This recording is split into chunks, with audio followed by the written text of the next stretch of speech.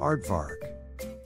As burrowing mammals with porcine snouts, aardvarks are true to their name, which translates to earth pig in the Afrikaans language.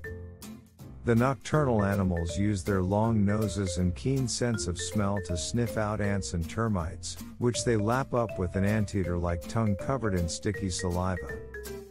These insects make up most of the aardvark's diet, although they'll occasionally eat beetle larvae. Aardvarks use their long, powerful claws to tear open termite mounds, as well as dig underground burrows in which they sleep and care for their young. Reproduction Males and females come together briefly to mate. Gestation lasts 8 months, after which a female births a single cub. The baby, hairless and about 6 pounds, is born during a peak time of food availability, either before or during the rainy season. The mother stays in the burrow with her offspring for two weeks, at which time the baby can accompany her on foraging trips outside the burrow. Young aardvarks can eat solid food at 3 months, and are fully weaned and on their own at 6 or 7 months. Conservation status The International Union for the Conservation of Species considers the aardvark a species of least concern, meaning their populations are stable.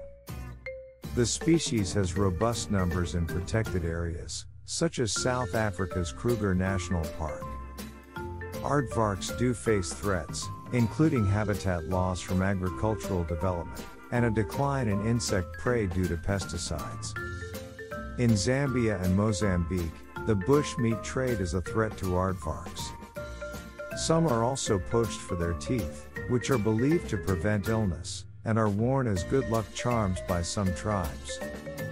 Aardvarks may also be susceptible to drought, one of the effects of climate change in Africa. In 2013, hot, dry conditions in South Africa's Tswalu Kalahari Reserve killed off some of the aardvark's insect prey.